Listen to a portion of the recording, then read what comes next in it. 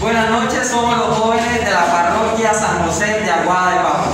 Y en el día de hoy hemos vivido nuestro cuarto anuncio carismático llamado para remedio de nuestros males, Dios nos entrega a su único hijo.